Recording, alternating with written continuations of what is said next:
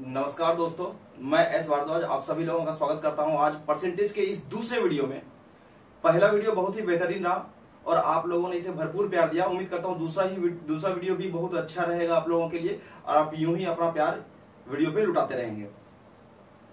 Friends last class में हम लोग परसेंटेज पार्ट वन वीडियो जो था, आज हम लोग परसेंटेज का पार्ट टू वीडियो पढ़ेंगे, ठीक है? पार्ट टू वीडियो मतलब परसेंटेज की कड़ी में और आगे बढ़ते हुए हम लोग कुछ और सम्स को देखेंगे। जो लोग हमारे पिछले वीडियो को नहीं देख पाए हैं तो वो जाकर के कृपया पिछला वीडियो देख लें। क्योंकि अगर आप उस वीडियो को नहीं देख पाएँगे तो स्वाभाविक सा बात है कि आपको ये वीडियो समझ में नहीं आएगा कि मैंने किस तरह से एक एक लाइन में आंसर निकाल दिया है। क्योंकि आपको वो कंसेप्ट वो समझ नहीं पता है जो मैंने पिछले वीडियो में बता रखा है। तो आपको ये बात ध्यान देने की ज़रूरत है कि जब आप पढ़ रहे हो तो समझ विकसित करने के लिए आप एक कड़ी, एक चैन बनाने की ज़रूरत होगी आपको। और वो आपको वीडियो के माध्यम से ही मिलेगी। क्योंकि मैं बता रहा हूँ, मेरा अप्रोच है तो आप मेरे ही वीडियो को जाकर के देखेंगे, तभी ये मेरा दूसरा वीडियो आपके काम आ पाएगा। इसलिए मेरी गुजारिश है आप सभी लोगों से कि आप कृपया करके पिछला वीडियो ज़रूर देख लें, उसके बाद इस वीडियो को देखने का कष्ट करें, तब जाके एक समझ विकसित हो पाएगा। तो आज हम चलते हैं अगले लेशन में मतलब अगर परसेंटेज का पार्ट टू वीडियो है ये पार्ट टू वीडियो में चलते हैं, ठीक है? इसमें कुछ और सम्स को देखते हैं। हमारा पहला सवाल जो है आज का ये मैं शुरू करता हूँ लास्ट वीडियो के कंसेप्ट से ही शुरू करता हूँ, ठीक है? ताकि आपको ये समझ में आ जाए कि पहला सवाल मैं पिछले पिछले वीडियो वाले कंसेप्ट को ही लेकर के चल रहा हूँ कि अगर मान लीजिए राम की आय, Ram's income is 40 percent more than the Shyam's income अगर राम की आय श्याम की आय से 40 प्रतिशत अधिक है then how much percent Ram's income is देखिए ये क्या है राम की आय श्याम की आय से 40 परसेंट अधिक है। How much percent Shyam's income is less than is less than the Ram's income ये प्रश्न है। ठीक है? अब मैंने आपको बता रखा था क्या? कि आपको क्या करना है? हंड्रेड परसेंट टेक्निक यूज़ करना है। एक राम है और एक श्याम है, है ना? तो राम की आय, श्याम की आय से 40 प्रतिशत अधिक है ना? तो श्याम अगर 100 होगा तो राम कितना होगा? 140 अब ये कह रहा है कि बताइए कि श्याम जो है राम से कितना कम है? श्याम जो है राम से कितना कम है? तो परसेंटेज में कितना कम है? ये निकालना है। तो आप क्या करेंगे? आप पहले देखिए कितना कम है तो 40 कम है। कितना कम है? 40 कम है। 40 कम है कितने में? 140 में इंटू हंड्रेड आप इसको सॉल्व कर लीजिए। तो ये हो जाएगा सात, ये हो जाएगा बीस, है ना? वीज़ा के 200 200 बटा सात परसेंट। ये आपका जो हो गया आंसर। क्लियर है ना? मैंने बता रखा है आपको, जिसको भी मानना है, जो कंप्लीट थिंग होगा, उसको आप 100 परसेंट मानेंगे। विशेष आपको वीडियो में देखना है, विशेष आपको इस टेक्निक को समझना है तो आप पिछला वीडियो ज़रूर देखें। मेरी आपसे बार बार गुजारिश है, और तभी आप ये समझ बना पाएँगे। ये हमारा पहला सवाल था, जिसका मैंने स्लीक कर दिया है, ठीक है? ये हमारा पहला सवाल था, जो पिछले वीडियो के लेक्चर पे आधारित क्वेश्चन था, ठीक है? अगले सवाल की तरफ़ चलते हैं। अगला सवाल जो हमारा है क्वेश्चन नंबर टू अगर कभी कभी क्या होता है कि रेशियो में आपको प्रश्न पूछा जाता है। रेशियो में प्रश्न कैसे पूछा जाता है? आप अगर फ़ेमस राइटर के बुक्स को देखेंगे क्वांटिटेटिव एप्टीट्यूड अगर आप पढ़ रहे हैं किसी भी राइटर का तो उसमें आपको इस तरह का प्रश्न ज़रूर मिलेगा। और ऐसे प्रश्नों को सॉल्व कर रहे हैं तो ऐसे प्रश्नों को सॉल्व करने के लिए आपको बहुत परेशान कभी कभी क्या होता है रेशियो आप इक्वेट नहीं कर पाते हो रेशियो से रिलेशन नहीं बना पाते हो तो फिर आपको बहुत परेशानी का सामना करना पड़ता है। और छोटे प्रश्न में भी आप चूक कर जाते हो और आपसे क्वेश्चन नहीं बनता है। तो मैं बता रहा हूँ कि किस तरह का प्रश्न। अगर ये क्वेश्चन है, मैं क्वेश्चन भी मैंने रखा हुआ है अपने पास कि अगर 40 percent of A if 40 percent of A A का 40 प्रतिशत, ठीक है? अगर ए का 40 प्रतिशत, ध्यान से देखिए, मैं इसे मिटा भी दे रहा हूँ साथ ही साथ, ताकि काम भी आसान होता रहे। ए का 40 प्रतिशत forty percent of A is equal to sixty percent of B is equal to sixty percent of B ठीक है ना? फोर्टी परसेंट ऑफ़ ए इस तरह से लिखा हुआ है is equal to sixty percent of B एकदम ध्यान से देखिए ए का चालीस प्रतिशत बी के, चालीस प्रतिशत के बी के साठ प्रतिशत के बराबर है, ठीक है? उसके बाद कह रहा है, उसके बाद कह रहा है then fifty percent of A is equal to then fifty percent of A is equal to dice percent of B अब ये है हमारा प्रश्न। ऐसा प्रश्न आपने अक्सर देखा होगा, अक्सर प्रैक्टिस पेपर में देखा होगा, अक्सर आपने, आप, आपने बुक्स में इसको देखा होगा, और आप इसे एक्स लेकर करके एक्स और वाई के रेशियो में आप चलते हो। तो मैं आपको कह रहा हूँ कि आपको कुछ करने की ज़रूरत नहीं। मैं जो बता रहा हूँ, एकदम ध्यान से सुनिए, और आप यूँ इसे सॉल्व कर लेंगे। क्या कह रहा है? फोर्टी परसेंट इसका सोल्यूशन मैं यहाँ कर रहा हूँ, ठीक है? फोर्टी परसेंट ऑफ़ ए आप कुछ मत कीजिए। ए जो प्रश्न है, आप लिखिए। फोर्टी परसेंट ऑफ़ ए लिख दिया मैंने। सिक्सटी परसेंट ऑफ़ बी लिख दिया। ये दोनों आपस में बराबर है। बराबर है रंजीत? तो दोनों आपस में मैंने बराबर कर दिया। अब ए के सामने में ए को रखना है बी के सामने में बी को रखना है, ठीक है? रेशियो को मैंने इसे ट्रिक में बदल दिया है तो आपको ये याद रखना होगा कि मैं रेशियो को ही ट्रिक में मैंने बदला है। तो एक ऐसे प्रश्नों को आप कुछ नहीं करना है। ए के सामने में ए को रखिए बी के सामने में बी को रखिए तो ये हो जाएगा पचास परसेंट ऑफ़ ए बराबर क्या हो जाएगा? मान लेते हैं ये डब्बा परसेंट ऑफ़ या वॉट परसेंट ऑफ़ बी है। ये प्रश्न है ना? अब इसे कुछ नहीं करना है। मैंने ए के सामने में ए रखा बी के सामने बी रखा ए ए तो फ्रेंड है। ए बी के बराबर है, लेकिन बी ए का फ्रेंड नहीं है। बी बी का ही फ्रेंड होगा। लेकिन जब इसे मार करने की ज़रूरत होगी, लड़ाई की ज़रूरत होगी तो कभी अपने ए ए से नहीं लड़ेगा, है ना? तो क्या करना है? ए बी से लड़ेगा, ये, इससे और ये इससे। इस तरह से आप इसे क्रॉस करेंगे, ठीक है? क्रॉस करने के बाद जो डब्बा परसेंट का वैल्यू आएगा, वो आएगा बी बराबर सिक्सटी, यहाँ देखिए सिक्सटी है, यहाँ फिफ्टी है इंटू फिफ्टी अपॉन फोर्टी, आप इसे सॉल्व कर लीजिए। दो दूनी चार, दो तिया छह दो से क्या हो गया? पच्चीस आंसर हो गया पचहत्तर परसेंट क्लियर है ना? है ना, आसान? आप क्या कर रहे हैं? ए के सामने में ए को रख रहे हैं बी के सामने में बी को रख रहे हैं, और उसके बाद फिर क्या करना है? क्रॉस करना है। तो 60 इंटू फिफ्टी बाई फोर्टी, आप देखेंगे कि बी का मेरा वैल्यू आ गया व्हाट परसेंट ऑफ़ बी तो ये भी रेशियो की तरह तरह ही है रेशियो पे ही ये ट्रिक निकला हुआ है तो आप इसे समझिए। तो डब्बा परसेंट ऑफ़ बी यानी कि बी का कितना परसेंट बी का पचहत्तर परसेंट जो होगा, वो क्या होगा? ये इसका आंसर होगा मतलब ए का पचास परसेंट होगा, है ना? बी का पचहत्तर परसेंट अगर यहाँ पचहत्तर परसेंट होगा तो वो ए के कितने के बराबर होगा? पचास परसेंट के बराबर होगा, ठीक है? तो ये रहा हमारा प्रश्न। अगला प्रश्न मैं दे रहा हूँ, आप कमेंट सेक्शन में कमेंट करके बताइए कि कैसे निकलेगा, ठीक है? अगला प्रश्न है, इसी तरह का प्रश्न मैं दे रहा हूँ, ठीक है? नेक्स्ट क्वेश्चन में देख बता रहा हूँ कि अगला प्रश्न जो है, वो आप देखिए क्वेश्चन नंबर तीन। सेम इसी तरह का प्रश्न है अगर मान लीजिए कि 30 परसेंट ऑफ़ ए बराबर 75 percent of B 30 percent of A बराबर 75 परसेंट ऑफ़ बी ठीक है ना? इज़ इक्वल टू है इज़ इक्वल टू ठीक?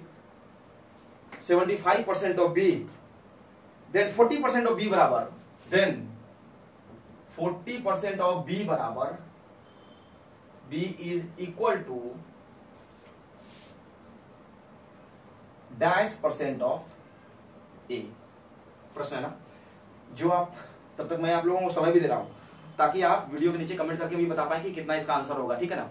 तो आप देखिए जरा, तीस परसेंट ऑफ़ ए पचहत्तर परसेंट ऑफ़ बी के बराबर है सेम वे में आपको क्या करना है? तीस परसेंट ऑफ़ ए आप रखिए, तीस परसेंट ए का रख दिए, फिर बी के जगह में कितना? पचहत्तर परसेंट बी का रख दिए फोर्टी परसेंट फिर। अब देखिए फोर्टी परसेंट ऑफ़ बी है तो बी के सामने में बी ए के सामने में मैंने कहा है ना, और इधर हो जाएगा डब्बा परसेंट ऑफ़ डब्बा में इसे कह रहा हूँ, ठीक है ना? तो ये मतलब एक्स परसेंट आप जो भी रखें वाई परसेंट डब्बा परसेंट ऑफ़ ए बराबर क्या हो गया? इतना। तो आप इसे क्या करेंगे? फिर क्रॉस करेंगे। क्रॉस करने के बाद क्या होगा? Forty into thirty by seventy five तो क्या हो जाएगा? Forty into thirty by seventy five ये हो जाएगा डब्बा परसेंट ऑफ़ ए है ना? तो अब बताइए, इसको सॉल्व कर लीजिए पाँच से पाँच छह तीस, है ना? छह पंचे तीस हो गया। और पंद्रह पचे पचहत्तर, फिर पाँच से करिए, फिर तीन से करिए, तीन दूरी छह, तीन पचे पंद्रह, पाँच अठे चालीस, ये जाएगा सिक्सटीन परसेंट आंसर आ गया ना? यानी कि इस बॉक्स में कितना परसेंट आएगा? सिक्सटीन परसेंट ऑफ़ ए बराबर क्या हो जाएगा? फोर्टी परसेंट ऑफ़ बी इस तरह से आप क्वेश्चन को बनाएँगे, कोई दिक्कत नहीं होता एक सवाल और मैं ले रहा हूँ, ठीक है? जहाँ पे कि आपको डेटा में थोड़ा सा अंतर रहेगा, अगर परसेंटेज नहीं दिया हुआ रहेगा, तब आप क्या करेंगे? उस प्रश्न को मैं यहाँ पे ले रहा हूँ। ठीक है? क्वेश्चन नंबर चार, आज के वीडियो का क्वेश्चन नंबर चार। चौथा प्रश्न जो है, वो भी इसी प्रकार का प्रश्न है, ठीक है? आप ऐसे ही प्रश्न को सॉल्व करने के लिए मैं एक दो टाइप में, इस टाइप में एक दो क्वेश्चन इसलिए बना दे रहा हूँ ताकि आप इस पैटर्न को पकड़ पाए कि कैसे हो रहा है। नहीं तो मैं नहीं भी बनाता, आप आप फिर सोच नहीं पाते कि कैसे हो रहा है। अगर ऐसा प्रश्न रहे कि मान लेते हैं कि 20 परसेंट ऑफ़ ए बराबर 50 परसेंट ऑफ़ बी अगर क्वेश्चन रहे कि 20 परसेंट ऑफ़ ए बराबर 50 percent of B 20 percent of A is equal to 50 percent of B ये प्रश्न है। और उसके बाद बोल रहा है क्या कि बी बराबर एक्स परसेंट ऑफ़ ए अब यहाँ पे बोल रहा है बी बराबर बी बराबर एक्स परसेंट ऑफ़ ए ये रहा प्रश्न। अब आप देखिए बी का कितना परसेंटेज है, ये नहीं दिया हुआ है, यहाँ भी नहीं दिया हुआ है। लेकिन ये बोल रहा है कि बी बराबर X X percent of A तो एक्स का वैल्यू क्या है? बी बराबर दिया हुआ है ना एक्स परसेंट ऑफ़ जो जरा सोचो, मैंने कहा था ना कि जब आप खुद को पूरा कहीं भी शामिल कर लेते हो तो आप अपने आप को सौ परसेंट वहाँ दे देते हो, है ना? सौ परसेंट आपका वहाँ चला जाता है। आपने खुद का सौ परसेंट उसे दिया है ना? तो यहाँ बी पूरा दे दिया है ए को। बी पूरा दे दिया है ए को। ये प्रश्न में नहीं है। सिर्फ़ बोल रहा है कि बी बराबर एक्स परसेंट ऑफ़ ए तो आप इसे क्या करेंगे? सौ परसेंट लिख लीजिए। सौ परसेंट कोई दिक्कत नहीं है। एक सेकेंड में थोड़ा सा लाइट का किस कुछ है, मैं इसे ठीक कर लेता हूँ, ठीक है? तो आप देखिए तो 100 परसेंट मैंने रख दिया बी के जगह। ये मैंने अपने मन से किया, ये ध्यान देखिए रखिएगा। ये अपने मन से किया क्यों किया? क्योंकि बी पूरा अपने आप को दे रहा है ए को। तो 100 परसेंट ऑफ़ फिर से सेम तरीका। क्या करेंगे? बताइए। 100 इंटू ट्वेंटी बाय फिफ्टी पचास दूनी सौ, ये हो जाएगा 40 परसेंट क्लियर है ना? इसका तो ये एक्स का वैल्यू कितना निकल जाएगा? 40 परसेंट आंसर ठीक है? उम्मीद कर रहा हूँ कि आप समझ पा रहे होंगे और बहुत मज़ा भी आ रहा होगा परसेंटेज का। लास्ट का वीडियो जिस तरह से प्यार मिला आप लोगों को, ये वीडियो में भी मैं उम्मीद करता हूँ उतना ही प्यार मिलेगा। और आप लोग इसे और लोगों को शेयर करेंगे, क्योंकि मैं एक पैटर्न पे चल रहा हूँ और एक भी प्रश्न को, एक भी टाइप को प्रयास करूँगा कि मैं मैं ना छोड़ूं। और ये एग्ज़ाम पॉइंट ऑफ़ व्यू से आपका बहुत ज़रूरी होगा। एकदम फ्री एक्सेस है कोई दिक्कत नहीं, आप इसे पढ़िए और मज़ा लीजिए लेक्चर का, ठीक है? तो ये हमारा प्रश्न है। तो इस तरह से हम देख लिए कि किस तरह का ये प्रश्न एक प्रश्न मैं आप लोगों के लिए छोड़ रहा हूँ, जिसे आप कमेंट सेक्शन में कमेंट करके बताएँगे। एक प्रश्न मैं इसी टाइप का छोड़ रहा हूँ। ये होमवर्क है, आप समझ लो, ठीक है? कि किस तरह से इसका आंसर होगा, ठीक है? आपको ये समझना है एक्स परसेंट ऑफ़ ए प्रश्न है एक्स परसेंट ऑफ़ ए बराबर वाई परसेंट ऑफ़ बी ठीक? एक्स परसेंट ऑफ़ ए बराबर Y percent of B then Z percent of A बराबर dash percent of B then Z percent of A बराबर dice percent of B ये आपको इस box में, यहाँ पे डाइस के जगह क्या होगा? इसे आपको सॉल्व करना है, इसे आपको सॉल्व करना है। प्रश्न लिख लिया आपने? लिख लीजिए। एक्स परसेंट ऑफ़ ए बराबर Y percent of B then Z percent of A बराबर क्या होगा? डाइस परसेंट ऑफ़ बी आप इस प्रश्न को सॉल्व करेंगे, ठीक है? और इसे मैं बना नहीं रहा हूँ, मैं आप लोगों के लिए मैं छोड़ रहा हूँ, ताकि आप इसे सॉल्व करके कमेंट सेक्शन में कमेंट करेंगे कि इसका कितना आंसर आ रहा है, ठीक है? तरीका आप यही लगाएँगे, प्रयास करेंगे कि इसी तरीके से आपको बनाना है, ताकि आपको समझ में कोई दिक्कत नहीं क्योंकि मैं पैटर्न के थ्रू पढ़ा रहा हूँ, ठीक है? चलिए तो ये प्रश्न रहा। अब अगले टाइप में चलते हैं फ्रेंड्स कि अगला जो प्रश्न है हमारा, वो बड़ा ही मज़ेदार है है ना? तो अगला प्रश्न देखते हैं कि क्या है। अगला प्रश्न है, मैंने प्रश्न को भी रखा हुआ है सामने में, ताकि आपको कोई दिक्कत हो। अगला प्रश्न है, ये सक्सेसिव वाला मेथड है, ठीक है? मैं सक्सेसिव की बात कर रहा हूँ। सक्सेसिव ठीक सक्सेसिव कब सक्सेसिव मतलब क्या हो गया? जैसे मान लीजिए कि ये मार्कर है, मैंने, मेरे पास ये मार्कर है, मैंने फिर किसी और को दे दिया, फिर हैंड टू हैंड है। ये सक्सेसिव है, ठीक है? सक्सेसिव है। या इनकम है, या सेलिंग है इनकम है, या सेलिंग है, अगर ये दो प्राइस हो, उसके बाद दोनों का कंबाइंड इफ़ेक्ट किसी तीसरे चीज़ पे निकले तो क्या होगा? जैसे कि अगर मैं कह रहा हूँ, अगर मान लीजिए कि कोई भी दुकानदार, कोई भी दुकानदार, अगर अपने मतलब बेचने वाले के सामान का दाम कम कर देता है तो क्या हो जाएगा? देखिए दाम कम किया तो उसका सेलिंग बढ़ जाएगा है ना? तो लेकिन इन दोनों का कंबाइंड इफ़ेक्ट कहाँ दिखेगा? इनकम पे दिखेगा तो ऐसे ही मेथड में हम लोग क्या करेंगे? सक्सेसिव का यूज़ करेंगे ठीक है? अब यहाँ पे देखिए एक प्रश्न है कि if the price if the price of any item is decrease by twenty percent कह रहा है कि इफ़ द प्राइस मैं रहा, कर रहा हूँ ठीक है? If the price of any item question लिख रहा हूँ if the price of any item is decrease कोई भी आइटम है कोई भी आर्टिकल uh, है ठीक है? Decrease by twenty percent twenty percent अगर इसको बीस प्रतिशत से कम कर दिया जाए ठीक है? तो बोल रहा है कि then the selling of the item increases by forty percent then the selling of the item of an item is increased by 40 percent अब देखिए, प्रश्न है ये इंक्रीज बाय 40 परसेंट ठीक है? और कह रहा है what is the effect on the income of the shopkeeper what is the percentage effect है ये? Effect on effect on the income of a shopkeeper on the income of a shopkeeper अब ये बताइए कि प्रश्न है ये मेरा, ठीक है? ये ध्यान से देखिए, प्रश्न ये ही मेरा। अगर आप देखिए कि जब इस तरह का प्रश्न होता है तो आप क्या करते हैं? ऐसे प्रश्नों को कैसे सॉल्व करते हैं? इसे आप देखिए। मैंने कहा था सक्सेसिव मेथड है। सक्सेसिव मेथड में मैं अभी जो बता रहा हूँ, एकदम ध्यान से देखिएगा। अगर आप इसे देख लेंगे तो बहुत आसानी से समझ जाएँगे। मैंने क्या कहा? अब देखिए सेलिंग सक्सेसिव कैसे हुआ? कोई भी आइटम है उसका दाम 20 प्रतिशत कम हो गया तो उसका सेलिंग बढ़ गया। कितना परसेंट? तो दाम का 20 परसेंट कम होना और सेलिंग का बढ़ना क्या है? दोनों एक दूसरे पे इंटरडिपेंडेंट है, दोनों एक दूसरे पे क्या है? डिपेंडेंट है, तभी तो हो रहा है ऐसा। और तो उसके बाद बोला कि उसकी इनकम पे, अब इन दोनों का कंबाइंड इफ़ेक्ट किस पे आएगा? ज़ाहिर सा बात है इनकम पे आएगा। तो इनकम पे आएगा तो क्या होगा? ऐसे क्वेश्चन को भी बनाने की ज़रूरत नहीं है। आपको मैं बता रहा हूँ सक्सेसिव का जब भी बात हो तो आप कुछ मत कीजिए। आपको एक मैं ट्रिक दे रहा हूँ कि ये ट्रिक है कि आप A plus B plus A B by hundred करेंगे। ठीक है?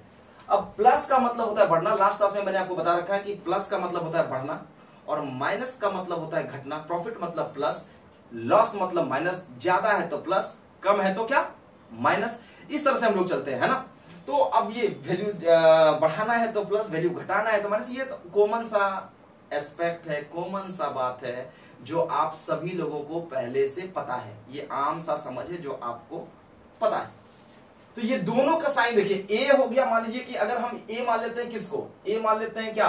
कि प्राइस जो डिक्रीज हुआ है, उसको ए मान लिया क्वांटिटी ए और जो सेलिंग बढ़ गया, उसको क्वांटिटी मान लिया बी और उसके बाद क्या है कि दोनों का प्रोडक्ट ये तो ये क्या है कि ए भी पॉजिटिव है और बी भी पॉजिटिव है। तो दोनों जब इंक्रीज करेगा, दोनों जब इंक्रीज करेगा तो आप इसके शरण में जाएँगे, ये वाला फॉर्मूला लगा देंगे।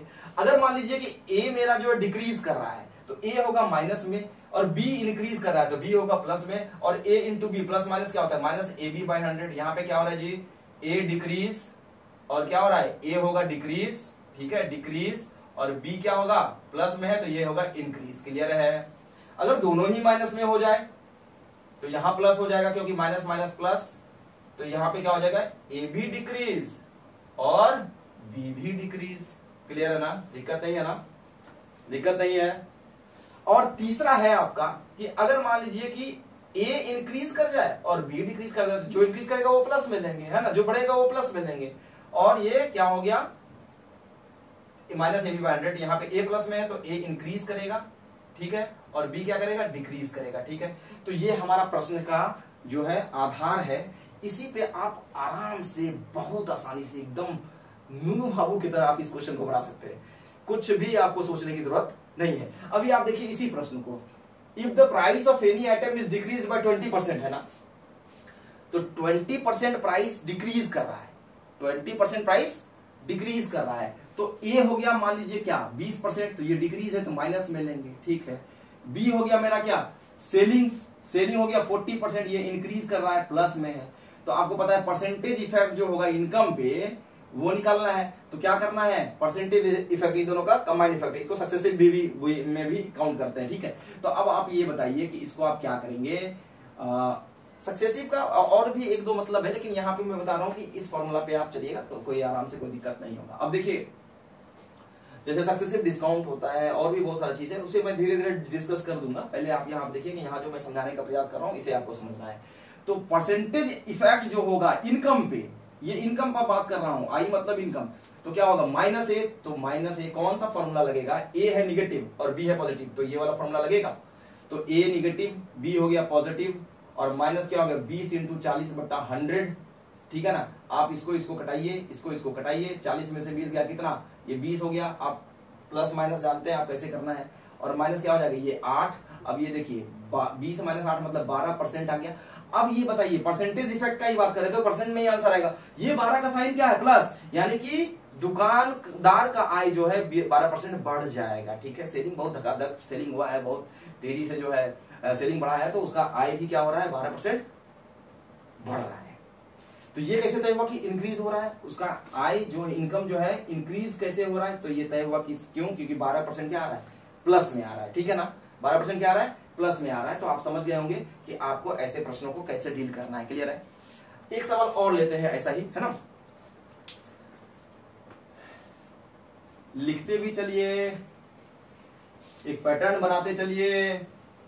मैं तो कहता हूँ कि कॉपी कलम लेकर के अगर आप बैठेंगे तो ज़्यादा बेहतर होगा, क्योंकि ये फ़ायदेमंद होने वाला है ये सीरीज़ अगर आप इसे ढंग से कर लेते हो तो जिस भी चैप्टर को मैं वादा करता हूँ, जिस भी चैप्टर को मैं शुरू करूँगा, उसे मैं अंत करके ही खत्म करूँगा, है ना? उसका अंत ज़रूर होगा। ऐसा नहीं कि मैंने दो चार पाँच क्वेश्चन बता दिया और आप भी मज़े में रहो, मैं भी मज़े में रहूँ, मेरा भी व्यूज़ आते रहे और हमारा भी काम चलते रहे, आपका भी काम चलते नहीं, आपका काम नहीं चलेगा। आपका काम चलेगा तब जब आप पूरा का पूरा थॉरोली आप किसी भी टॉपिक को अच्छे तरीके से समझ पा रहे हैं और बना पा रहे हैं, ठीक है? चलिए तो अगला प्रश्न है। अगला प्रश्न। इसी तरह का प्रश्न। अगर मान लीजिए कि कभी कभी रेक्टेंगल में भी इस तरह का प्रश्न देता है जैसे कि बताइए कि रेक्टेंगल में लेंथ और ब्रेथ है तो लेंथ और ब्रेथ लंबाई और चौड़ाई का आ, मतलब प्रभाव किस पे पड़ेगा? उसके परिमीटर पे पड़ेगा उसके एरिया पे पड़ेगा है ना? तो अगर क्वेश्चन ऐसा दे दिया जाए कि ध्यान से देखिए। क्वेश्चन ये है कि आ, अगर मान लेते हैं कि if the length of the rectangle if the length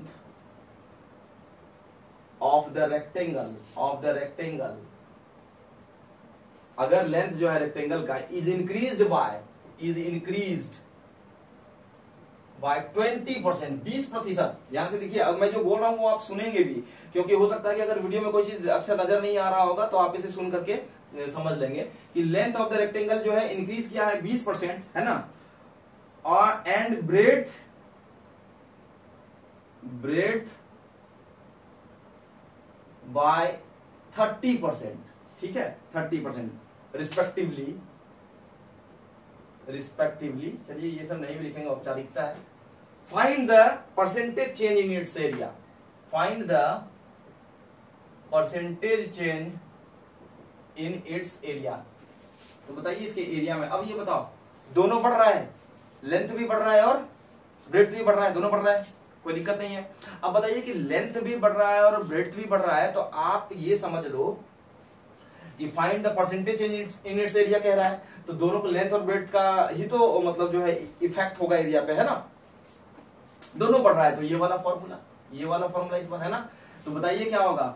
percentage effect जो होगा एरिया में बढ़ेगा या घटेगा, देख लेते हैं। ऐसे भी अंडरस्टूड है कि बढ़ेगा ही, क्योंकि दोनों ही बढ़ गया। लेंथ भी बढ़ा और ब्रेथ भी बढ़ा तो एरिया तो बढ़ना ही है। तो अब देखिए ये है बीस प्रतिशत और ये क्या चीज़ों में परसेंट में लिख रहा हूँ डायरेक्ट लिख रहा हूँ। बीस प्लस तीस जोड़, बीस इंटू तीस बाय हंड्रेड इसको इसको उड़ाइए बीस, तीस, पचास प्लस छ, छप्पन परसेंट इसका आंसर हो गया। छप्पन प्लस में आया तो एरिया क्या हो गया? छप्पन परसेंट बढ़ गया।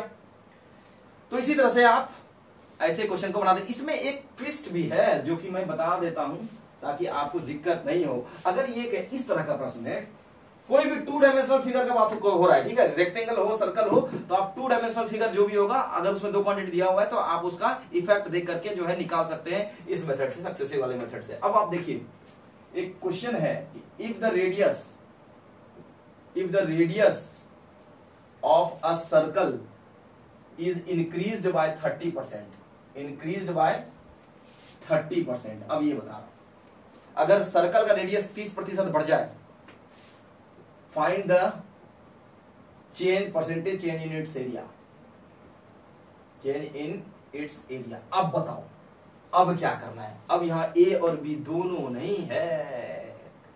तब क्या करेंगे? ए नहीं है ए है सॉरी बी नहीं है। तो दो क्वांटिटी होना चाहिए ना ए प्लस बी वाला। तब ये देखिए, ये फॉर्मूला तब कैसे बदल जाता है? तब मैं इस फॉर्मूला को लिख रहा हूँ। ये मैं मिटा दे रहा हूँ, ठीक है? अब यही फॉर्मूला कैसे हो जाएगा? अब देखिए, दोनों बदल रहा है ना? दोनों में से क्या होना चाहिए? दोनों नहीं है। तो आप क्या कीजिए ए है तो यहाँ पहले से बी को भी ए से रिप्लेस कर दीजिए। तो दोनों जगह ए हो गया, है ना? दोनों जगह यहाँ भी ए कर देंगे, कर दीजिए। तो ये जो फॉर्मूला बन जाएगा, ये क्या बन जाएगा? ए यहाँ पे ए रखिए, दोनों जगह ए रखिए। ए भी यहाँ रखिए तो ए स्क्वायर हो जाएगा बाई हंड्रेड हो जाएगा, ठीक है ना? अब यहाँ पे देखिए, ये एक साथ रखेंगे, ठीक है? क्योंकि दोनों तो ए ही है, और बीच में प्लस या माइनस करेंगे। अगर इंक्रीज होगा तो प्लस इंक्रीज होगा, जैसे यहाँ पे रेडियस क्या हो रहा है? इंक्रीज हो रहा है तो ये प्लस वाला लेंगे। अगर ये डिक्रीज होता तो नीचे क्या लेते? हैं माइनस यानी कि ये जो फॉर्मूला होगा, अभी यहाँ पे क्या हो जाएगा? तीस प्लस तीस और इंक्रीज हो रहा है तो बीच में क्या? प्लस तो तीस का स्क्वायर यानी कि तीस इंटू तीस, ये हो गया, यानी कि तीस प्लस तीस और इन प्लस नाइन तो ये सिक्सटी नाइन परसेंट उसका एरिया क्या हो गया? बढ़ गया, है ना? अगर ये डिक्रीज होता तो क्या करते? डिक्रीज होता तो तीस प्लस तीस यहाँ माइनस क्या कर देते? यहाँ माइनस कर देते बीच में, क्यों? क्योंकि यहाँ पे डिग्रीज का बात कर रहा हूँ तो एक प्लस और एक माइनस तो यहाँ पे हो जाता तीस प्लस तीस माइनस नाइन तो ये हो जाता साठ माइनस नाइन यानी फिफ्टी वन परसेंट इसका एरिया डिक्रीज हो जाता है क्लियर है ना? तो ऐसे प्रश्नों को आप ऐसे ही करेंगे, और इस तरह का प्रश्न जब भी होगा तो आप आराम से इसे सॉल्व कर सकते हैं। बाद में मैं जब आप धीरे धीरे क्लास देखोगे तो बाद में इसे भी लगाने की ज़रूरत नहीं है। आप बहुत आसानी से उसको भी कर सकते हो मैं धीरे धीरे पढ़ा रहा हूँ। आपको वो सारे कंसेप्ट को भी बताऊँगा और बहुत ही आराम से आप इसे बना सकते हैं। कोई दिक्कत करने की बात नहीं है। आपको सिर्फ़ मेरे साथ चलना है। अगर आप चलेंगे मेरे साथ तो मैं भी आपको दौड़ाने के लिए रेडी हूँ। अगला जो प्रश्न है, अगला प्रश्न मैं बता रहा हूँ। क्या है? ये मैं मिटा देता हूँ। जिसे लिखना होगा, आप लिख लोगे। नहीं लिखना होगा, कोई बात नहीं है। वीडियो को रिवाइंड करके कभी भी लिख सकते हो। क्योंकि ये सुविधा तो इसमें है ना क्योंकि लेक्चर तो रिकॉर्डेड होता है। है ना? चलिए अगला जो टाइप है प्रश्न का मैं वो वो देख रहा हूँ ठीक है? लास्ट क्लास में मैंने आपको एक आ, बताया था है ना? कि जब पहले वाले को निकालना होता है एक प्रश्न मैं दे रहा हूँ क्वेश्चन ये बहुत तगड़ा क्वेश्चन है। अगर आप इसे एक्स लेके बनाओगे तो मैं दावे के साथ कह सकता हूँ कि एक पेज में एक पेज से कम में नहीं बनेगा ठीक है? लेकिन अगर आप आप मेरे टेक्निक से चलोगे तो ये तुरंत बनेगा। ये ज़्यादा ज़्यादा पाँच सेकंड देखिए, अगर ये क्वेश्चन है क्वेश्चन है कि रामन सेव्स ठीक है? Twenty percent of his income of his income बहुत शानदार क्वेश्चन है। Twenty percent of his income आगे आने वाला है। And after two years his income increases by twenty percent and after two years अब यहाँ पे देखिए, बोल रहा है क्या? मतलब जो है कि 20 परसेंट रमन जो है अपने इनकम का सेव करता है और दो साल बाद क्या होता है, उसका इनकम 20 परसेंट बढ़ जाता है। And after two years his income increases by 20 percent increases by 20 percent देखिए 20 परसेंट बचा भी रहा है और दो साल बाद उसका इनकम 20 परसेंट बढ़ रहा है। बट द सेविंग इफ़ लिख दीजिए एंड इफ़ आफ्टर ठीक है? But still saving is same saving remains the same चलिए रिमेन्स द सेम सेविंग यानी बचत अभी भी उतना ही है, ठीक है? बचत अभी भी क्या है? उतना ही है। तो बताइए, कह रहा है कि उसका एक्सपेंडिचर कितना बढ़ा? How much percent his expenditure increases how much percent how much percent his expenditure increases expenditure increases अब बताइए, बोलो, रमन अपनी आय का, रमन अपनी आय का 20 प्रतिशत बचाता है। यदि दो साल बाद उसकी आय 20 परसेंट बढ़ जाती हो, फिर भी बचत उतना ही है जितना कि पहले था। तो बताइए कि उसका एक्सपेंडिचर कितना बढ़ा गया है ना? ये प्रश्न है। अब मैं इसे एक उदाहरण के साथ आपको समझा रहा हूँ, ठीक है? उदाहरण ये है कि अगर आप सोच लो कि आपको ऐसे समझा रहा हूँ कि आप अपने घर से सौ रुपया लिया। सौ रुपये को मैं आपका इनकम मान लेता हूँ। सौ रुपया अपने घर से लिया और बाहर जो है सब्ज़ी लाने के लिए आपकी मम्मी ने सौ रुपये दे करके आपको कहा कि भाई आप जाओ सौ रुपए लेकर के और सब्ज़ी लेके आओ। तो मैं सौ रुपए को आप अपने को आप, अपने आप को देख रहे हो भाई सौ रुपया मेरा इनकम है। अब सौ रुपया इनकम है तो आप ये बताओ कि आपने क्या किया? कुछ पैसे की सब्ज़ी खरीदी और कुछ पैसा बचा लिया। तो जो बचा लिया वो सेविंग हो गया। जो खरीदा, जो आपने खरीदा, जिस पैसे को आपने खर्च किया, वो एक्सपेंडिचर हो गया। इसका मतलब क्या कि इनकम जो है सेविंग और एक्सपेंडिचर का ही गेम है ना? जितना आपने बचाया और जितना आपने खर्च किया, दोनों को जोड़ देंगे तो इनकम हो गया। क्लियर है ना? तो अगर मान लेते हैं इस केस में कि मैंने कहा था हमेशा सौ मानना है इनकम अगर आपने सौ मान लिया सेविंग कितना परसेंट होगा सौ का? बीस परसेंट तो चलिए बीस परसेंट पहले का बात हो रहा है। तो सौ में बीस आपने अगर खर्च कर दिया तो कितना बचा? अस्सी बचा। सॉरी सौ में बीस आपने बचा लिया तो कितना खर्च हुआ? अस्सी खर्च हुआ। क्लियर है? अब दो साल बाद स्थिति अलग हो जाती है। बीस परसेंट बढ़ रहा है इनकम तो सौ से एक सौ बीस रुपए आप कमा रहे हो। अब एक सौ बीस रुपए लेकर के आप सब्ज़ी लाने जा रहे हो। तो एक सौ बीस रुपया क्या हो गया? आपकी इनकम हो गई। और एक सौ बीस रुपए में बीस, ये बीस नहीं है, बीस परसेंट है। सौ का बीस परसेंट बीस हो रहा है। तो अभी भी एक सौ बीस का बीस परसेंट क्या होगा ट्वेंटी फोर। ट्वेंटी फोर आप बचा रहे हो, क्योंकि पहले जैसा ही सेविंग है। क्वेश्चन कह रहा है कि अभी भी बचत पहले के समान ही है। तो इसका मतलब अगर आपने चौबीस खर्च किया तो चौबीस अगर बचाया तो छियानवे खर्च कर दिया। क्योंकि चौबीस और छियानवे को जोड़ करके एक सौ बीस आना चाहिए। क्योंकि जितना आपने बचाया तो रिमेनिंग पैसा क्या हुआ? खर्चित तो हुआ। अब कह रहा है कि एक्सपेंडिचर कितना बढ़ा? तो आप बताइए, अस्सी में कितना बढ़ा? सोलह बढ़ा। अस्सी रुपया पहले आप खर्च कर रहे थे। इनकम बढ़ गया तो आपका खर्च भी बढ़ गया, जो कि होता ही है अमूमन। अगर आप पहले पाँच हज़ार रुपए कमाते हो और फिर बाद में दस या बीस कमाने लगते हो तो क्या होता है? तो आपकी, आप, आपका, आपकी आदतें चेंज हो जाती है और आपको खर्च करने का मन भी करने लगता है क्योंकि आपकी इनकम बढ़ गई है। ठीक है ना? तो अब यहाँ पे अस्सी रुपए आप खर्च कर रहे थे, अभी आप छियानवे रुपए खर्च कर रहे हो। तो सोलह रुपए बढ़ाया ना आपने, है ना? कितना में? अस्सी में इन टू हंड्रेड जिसका परसेंटेज निकालना होता है उसको ऊपर, जिसमें परसेंटेज निकालना होता है उसको नीचे। ठीक है? ये सारा, ये जो सारा बात हो रहा है, ठीक है? ऊपर नीचे वाला, ये तो आपको पहले वीडियो में ही जाकर के पता चलेगा, ठीक है? तो न्यूमिनेटर और डिनोमिनेटर का बात कर रहा हूँ मैं। ऊपर ये ये ये है, जिसका परसेंटेज निकालना होता है उसको न्यूमिनेटर में, जिसका, जिस जिसमें परसेंटेज निकाला तो उसको डिनोमिनेटर तो 80 में 16 बढ़ाया तो 80 को नीचे रखा मैंने, और 16 ऊपर रखा, ठीक है? तो 16 पंच अस्सी, ये हो गया, यानी कि 20 प्रतिशत जो है, आपका एक्सपेंडिचर बढ़ गया है। 20 परसेंट हुआ ना, आसान, बहुत आसान था। अगर आप इसे सॉल्व करने का प्रयास करोगे एक्स लेकर के तो मैं दावे के साथ कह रहा हूँ कि आपको बहुत टाइम लगने वाला है और एक पेज लग जाएगा। फ़ायदा? आपके आपके लिए मैं हूँ, आप आप इसे बनाइए, कोई दिक्कत नहीं है। सॉल्व कीजिए और मज़े लीजिए एरिथमेटिक का, ठीक है? एक और प्रश्न मैं इसी प्रकार का लेता हूँ, ठीक है? इसमें जो प्रश्न है, अगला प्रश्न मैं ले रहा हूँ। अगला प्रश्न है ये कि राहुल को मैं ले लेता हूँ कि राहुल जो है, चलिए मैं इस पे क्या होगा कि मैं मिटा देता हूँ, ठीक है? और उसके बाद नाम को बदल करके लिखने से बच जाऊँगा, है ना? क्योंकि अभी वो स्मार्ट बोर्ड तो है नहीं कि इसमें परेशानी होता है तो आप जानते हो कि लिखना मिटाना पड़ता है तो इतना तो आप कष्ट कर लोगे। चलिए, मैं आप इसे मिटा रहा हूँ। चलिए, रमन को ही मैं रखता हूँ। चलिए, रमन को ही मैं अलग किरदार में रखता हूँ, ठीक है? और ये कह रहा हूँ कि रमन जो है, अब पचहत्तर परसेंट अपनी इनकम का जो है खर्च कर दे रहा है। चलिए, अपनी इनकम का ये पचहत्तर परसेंट खर्च कर रहा है। कह रहा है कि रमन स्पेंड कर रहा है spends seventy five percent of his income ठीक, खर्च कर रहा है। अब ये देखिए, उल्टा चल रहा है कि पचहत्तर परसेंट इसने खर्च किया, ठीक है। If his income increases by twenty percent बोल रहा है कि and if his income increases by twenty percent ठीक है। मान लेते हैं कि इनकम इसका दो दो साल नहीं दिया हुआ है, कि इसमें दो साल नहीं, दूसरा क्वेश्चन है कि सिर्फ़ इनकम इसका बीस प्रतिशत बढ़ रहा है। क्लियर है? इनकम इंक्रीजेज बाय बीस percent but the expenditure increases by ten percent अब यहाँ पे थोड़ा सा चेंजेस है, बीस परसेंट बट एंड ऑल्सो कर देते हैं, चलिए and also expenditure increases expenditure increases by ten percent अब ये देख लो, ठीक है? क्या कह रहा है? Expenditure increases by ten percent मतलब खर्च उसका दस प्रतिशत बढ़ गया। How much percent does the saving increases how much percent इस बार बताइए कि सेविंग कितना डज द सेविंग इंक्रीजेस तो बताइए कि सेविंग्स उसका कितना बढ़ा बढ़ा है। ठीक है? क्या कह रहे हैं? कि रमन अपने आय का जो पचहत्तर प्रतिशत खर्च कर रहा है और दो साल बाद मान लेते हैं, इसमें भी दो साल मैंने रख दिया, ठीक है? दो साल बाद उसका इनकम क्या हो गया? बीस परसेंट बढ़ गया।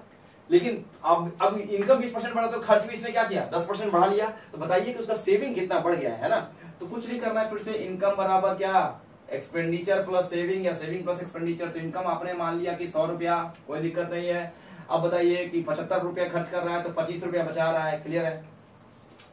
सौ में पचहत्तर खर्च कर दिया आप तो पच्चीस ही ना बचा है अब 120 हो गया, बढ़ने के बाद क्या हो गया? 20 परसेंट इंक्रीज था ना। अब इनकम क्या हो गया? 120 अब सेविंग जो है, कितना है वो नहीं बात कर रहा है। बोल रहा है कि एक्सपेंडिचर इसका जो है एक्सपेंडिचर इसका जो है वो दस परसेंट बढ़ गया। तो अब बताइए कि अब अब पचहत्तर प्रतिशत जो है, पचहत्तर रुपया इसका एक्सपेंडिचर था। अब कितना बोल रहा है? And also expenditure increase by ten percent. तो पचहत्तर का दस परसेंट कितना होगा? Seven point five seventy five का अगर आप टेन परसेंट करोगे तो 7.5 होगा, है ना? तो 7.5 इसमें बढ़ गया। तो 7.5 आप इसमें बढ़ा दो तो अब जो नया खर्च है, पचहत्तर सात बेरासी पॉइंट पाँच, है ना? अब नया खर्च ये हो गया। नया खर्च क्या हो गया? ये हो गया कि बेरासी रुपया पाँच पचास पैसा खर्च करता है, ठीक है। अब जो बचा तो वो क्या होगा? ज़ाहिर सा बात है कि जो बचा, वो हो जाएगा आपका सेविंग तो सैतीस पॉइंट पाँच बच रहा है, बच रहा है ना। आप इसको जोड़ करके देख लीजिए 120 आ रहा है नहीं? मुझे लगता है कि आ जाना चाहिए, है ना? 120 आ जाना चाहिए। तो अब बताओ कि 25 में कितना बढ़ गया सेविंग सेविंग ही तो पूछ रहा है कि कितना बढ़ा है सेविंग तो 25 में से कितना बढ़ा है? साढ़े बारह रुपया बढ़ा है। तो आप देख लीजिए कि साढ़े बारह रुपया बढ़ा है पच्चीस में इंटू हंड्रेड है ना? बताइए कितना परसेंट हो जाएगा? तो ये आप देख लीजिए ये पॉइंट उड़ा दीजिए। ढाई सौ हो गया ये दो ये हो जाएगा पचास पचास परसेंट उसका सेविंग ऐसे भी देख लीजिए पच्चीस में साढ़े बारह रुपया बढ़ा है तो पच्चीस का आधा क्या होता है? साढ़े बारह ही होता, होता है ना? ट्वेल्व पॉइंट फाइव रुपीज़ ही होता है है ना? तो इसका मतलब क्या कि पचास परसेंट उसका सेविंग बढ़ गया है। तो इस प्रश्न को भी आपने बहुत आराम से सॉल्व कर लिया। मैं उम्मीद कर रहा हूँ कि आपको समझ में आ रहा होगा। अगर मैं कुछ ज़्यादा स्पीड बोल रहा हूँ तो आप उसे बार बार वापस रिवाइंड करके देख लीजिएगा। उसके लिए मैं क्षमा भी चाहता हूँ, क्योंकि अब मैं ऐसे ही बोलता हूँ, ठीक है? जिसे आप मैनेज कर लीजिएगा। लेकिन उम्मीद है कि मैं जितना भी बोल रहा हूँ कि आप समझ में आ रहा हो और समझ में आ रहा है तो फिर आप गतिमान एक्सप्रेस के हिसाब से बोले या राजधानी एक्सप्रेस के हिसाब से बोले, आपके समझ से ही मुझे मतलब है, ठीक है ना? तो ये हो गया आपका क्या? वंदे भारत एक्सप्रेस छूट गया था। तो पच्चीस और पचहत्तर सैतीस पॉइंट पाँच है ना? तो अब ये बताइए कि साढ़े बारह रुपया बढ़ा तो पच्चीस में साढ़े बारह कितना होता है? Twelve point five? Fifty percent तो फिफ्टी परसेंट उसका क्या बढ़ गया? सेविंग बढ़ गया, है ना? तो ये है हमारा अगला टाइप था, ठीक है? अब इसके बाद हम लोग इस तरह के प्रश्न को भी आप आराम से सॉल्व कर सकते हैं। और अक्सर ऐसा प्रश्न पूछता है एग्ज़ाम में अक्सर ऐसा प्रश्न पूछता है, और इसे आप याद रखिएगा कि इस प्रश्न को सॉल्व करने के लिए आपको किसी एक्स की ज़रूरत नहीं होनी चाहिए। अगली बार से आप एक्स लेकर के नहीं बनाएँगे। ये मैं चाहता हूँ। और आप इसको फॉलो करेंगे। चलिए, अब अगला जो प्रश्न है, अगला प्रश्न है। अगला प्रश्न मैं एक और प्रश्न ले रहा हूँ। कि अगर मान लेते किसी परीक्षा में if a candidate if a candidate बड़ा मज़ा, मज़ेदार चैप्टर है। Candidate requires 45 percent marks to pass an examination examination अगर किसी भी एग्जामिनेशन में पास करने के लिए 45 परसेंट मार्क्स चाहिए। लेकिन बट ही स्कोर्स या ही फेच लिख देते हैं अच्छा लगेगा। 206 marks and failed by and failed by 19 marks 19 नंबर से फेल हो जाता है। 206 मार्क्स लाता है। और 19 नंबर से फेल हो जाता है। बोला कि बताइए तो what is the total marks of the examination find the total marks कितने मार्क्स से एग्ज़ाम हुआ था? वो बताइए। जो बच्चा लास्ट वीडियो देखा होगा, वो इसे बहुत आसानी से सॉल्व कर लेगा। करना क्या है? ये अगला टाइप है नेक्स्ट टाइप आप इसे काउंट कर लो। स्टूडेंट वाला क्वेश्चन करना क्या है? कह रहा है कि कैंडिडेट को 45 परसेंट मार्क्स चाहिए ना पास होने के लिए। लेकिन ये बताओ कि 206 नंबर लाके फेल हो रहा है। तो 206 नंबर लाके फेल हो रहा है तो कितने अंकों से फेल हो रहा है? तो आप ये देख लो कि 206 में 19 अंक से फेल हो रहा है। तो जैसे ही आपने इसे 19 अंक दे दिया, ये पास हो गया। और पास हो गया तो ये 45 परसेंट के बराबर आ गया। और किसी भी एग्ज़ाम का मार्क्स कितना होगा? 100 परसेंट होगा कि नहीं जी? तो ये हो गया 100 परसेंट तो 100 परसेंट का वैल्यू निकालना है तो ये हो गया 225 ना तो 225 into hundred by forty five five से डिवाइड की गुना के लिए तो ये 500 मार्क्स का एग्ज़ाम था, क्योंकि 100 परसेंट मार्क्स कितना आया? 500 तो 500 मार्क्स का एग्ज़ाम था। तो क्या करना है? बस कुछ नहीं करना है स्टूडेंट को पास करा देना है। अगर वो फेल हो रहा है तो पास करा दीजिए, और पासिंग परसेंटेज तो आपको दिया हुआ है। और उसके बाद उसको इक्वेट कर दीजिए और एक, एक, एक मतलब फुल मार्क्स के लिए क्या करना है? हंड्रेड परसेंट मार्क्स निकाल देना है। बहुत आसान है कोई दिक्कत नहीं है आप बना सकते हो। है ना? चलिए एक एक क्वेश्चन इसी प्रकार का और देखते हैं ठीक है? इसी प्रकार का एक क्वेश्चन और देखते हैं ठीक है? इसको मिटा देना हूँ मैं। अगर दो विद्यार्थी रहे ये तो एक विद्यार्थी था अगर दो विद्यार्थी रहे तब क्या हो? तो प्रश्न है प्रश्न है हमारा। कि एक स्टूडेंट है a student a student secured twenty percent marks in an exam in an exam ठीक। And failed by 26 marks. Failed by 26 marks पच्चीस, बीस परसेंट मार्क्स ला रहा है और 26 मार्क्स से फेल हो रहा है। ठीक है। अब कह रहा है कि अनदर स्टूडेंट एक और स्टूडेंट अनदर स्टूडेंट अब एक और स्टूडेंट का यहाँ पे एंट्री मैं करा रहा हूँ another student scored 40 percent marks ठीक है? या secured 45 percent marks sorry 45 percent marks है ना? एंड फिच फिच मतलब लाना, है ना? एंड फिच कितना मार्क्स अधिक ला रहा है? 24 marks more than the passing marks यहाँ पे देख लो 24 marks more than the passing marks ठीक है? 24 marks more than the passing marks तो बोल रहा है कि अनदर स्टूडेंट जो है सिक्योर कर रहा है 45 परसेंट मार्क्स लेकिन उसको पासिंग मार्क्स से 24 नंबर अधिक खा गया, है ना? तो फिर कह रहा है कि what was the pass mark of the exam pass mark find the pass mark चलिए फाइंड पास मार्क अब उतना लिखने का मेरा भी मन नहीं करता है। यही, जितना आप शेयर करेंगे, उतना जल्दी ये बोर्ड बदल जाएगा। आप इसे शेयर करते रहिए। ठीक है? अब ये देखिए passing marks and find pass marks अब ये पास मार्क्स जो है, निकालना है। तो पास मार्क्स निकालने का क्या मतलब है? सबसे पहले आप फुल मार्क्स निकालो ना भाई। उसके बाद पास मार्क्स तो निकाल ही लेंगे।